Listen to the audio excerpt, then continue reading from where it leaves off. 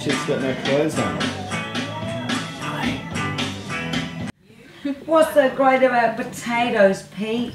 The great thing about potatoes, Lindsay, is you can do so many things with them.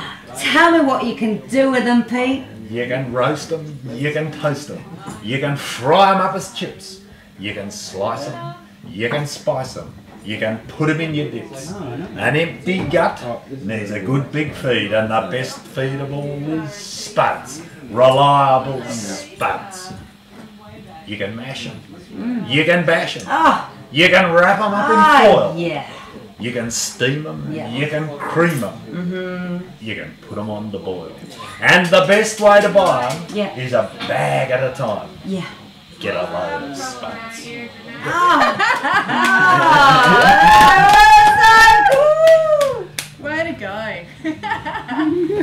Poetry, Pete. That's poetry. Potato poetry. Yeah. Kind of